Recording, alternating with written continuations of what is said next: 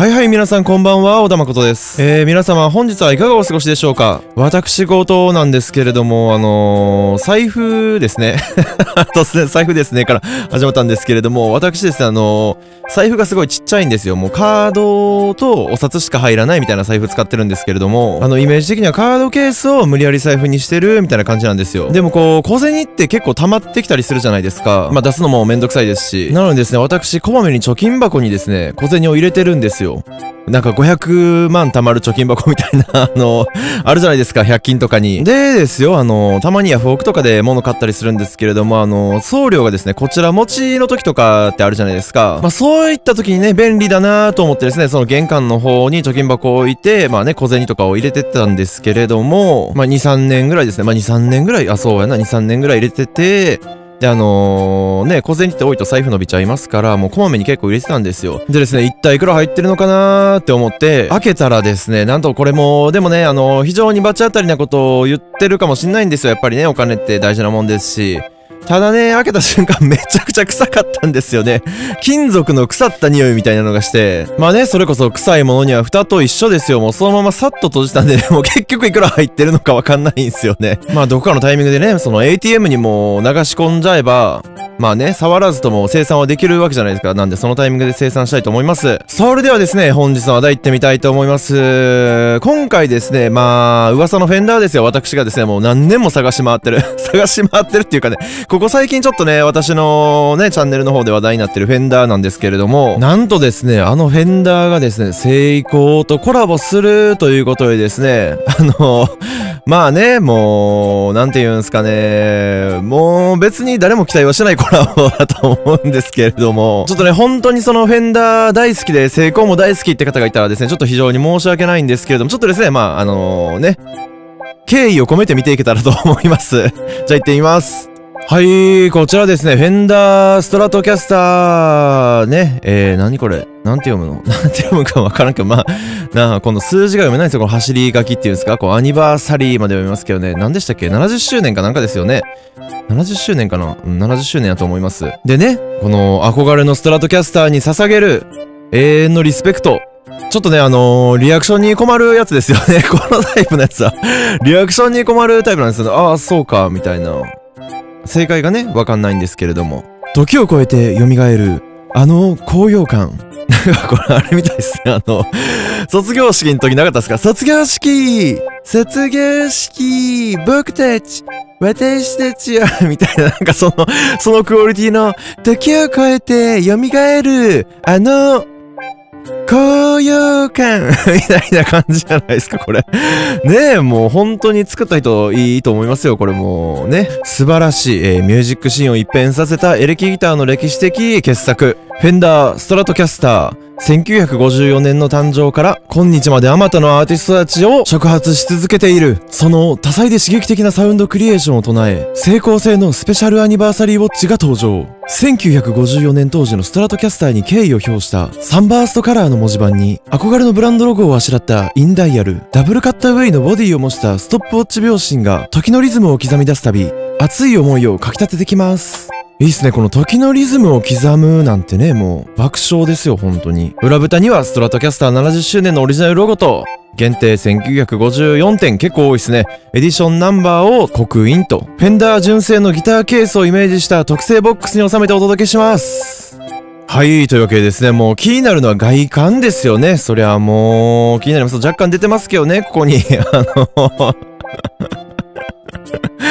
あのね、まあじゃあちょっと見ていきたいと思います。はい、こちらですね。サンバーストのボディに白いピックガード、1954年当時のストラスターキャスターを、ストラトキャスターを イメージした文字盤というわけですね。まずこの白いピックガードがないこのね、金のストラトキャスターに、ていうかこれが秒針？これが秒針なんですね。ってことはこれが回るってことですよね。で、ですよ、もうこのサンバーストのボディカラーを想起させるグラデーションと。はい。で、ね、このストップウォッチ分身と、まあこの辺はまあ普通の時計ですよね。で、ここにロゴがあるんですね。憧れのフェンダーロゴが。でも、わかる。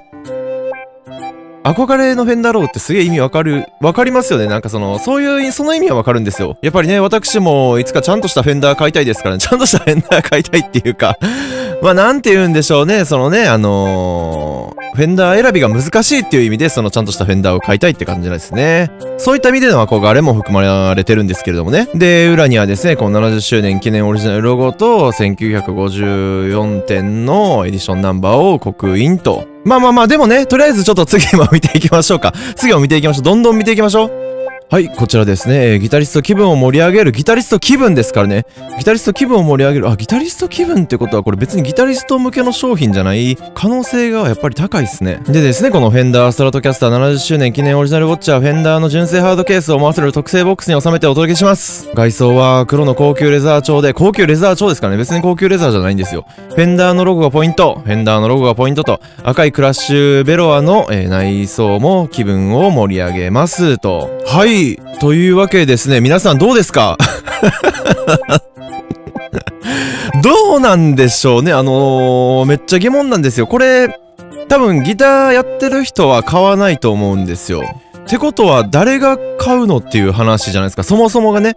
そもそも1954個もこんなん作っといて誰が買うのって思うんですけれども、もしですね、これ買った人に遭遇した場合ですよ、一番やばいの。だって皆さん考えてみてくださいよ。あーすいません、ギターやられてるんですか？みたいな感じで人と話すわけじゃないですか。えー、ギターやられてるんですね。見てくださいよ、これ。フェンダーの時計。で、多分、あの、本人は自慢げに言うと思うんですよね。そういう時のこのリアクションってどうしたら正解なのかもちょっと書いといてほしいですよね。これ、もし身につけてる人とか、人がいたとしてですよ。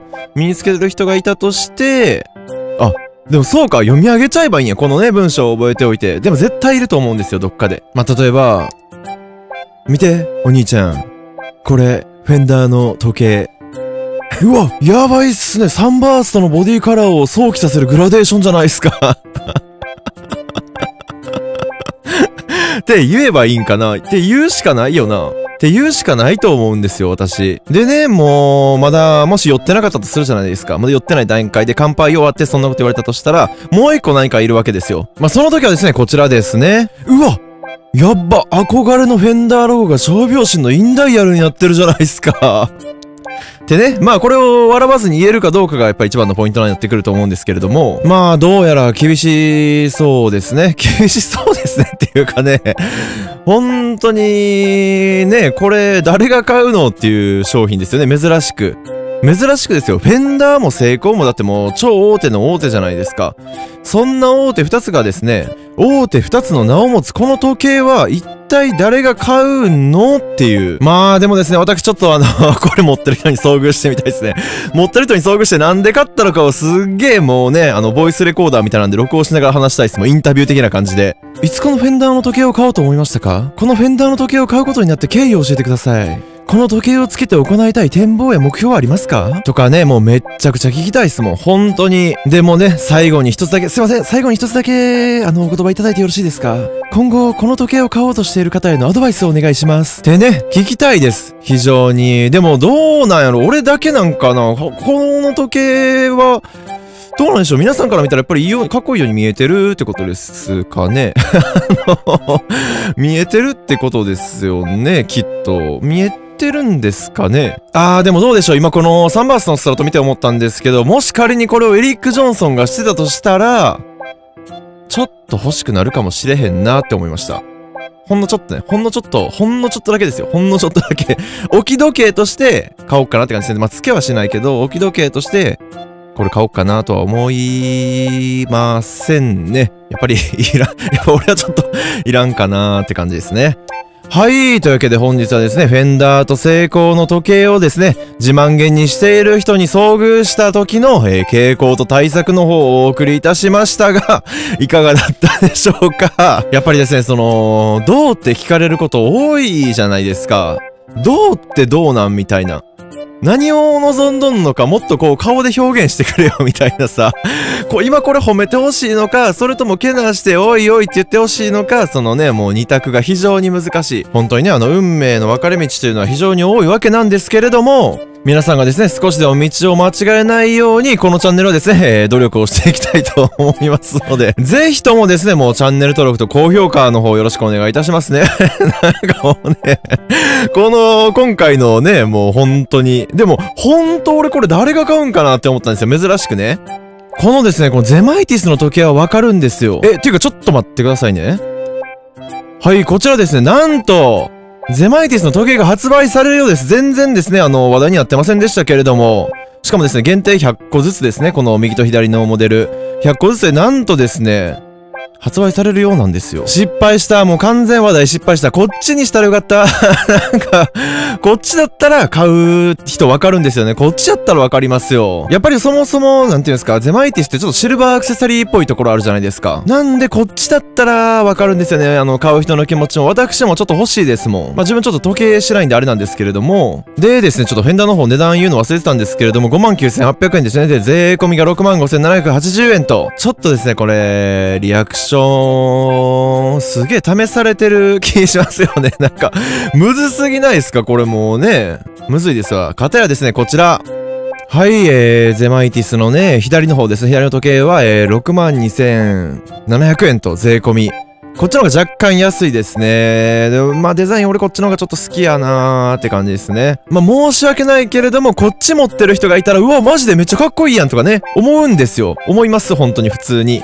ちょっと見せてよみたいなね、なると思うんですけれども、あのフェンダーね、フェンダーの方、むずいっすね。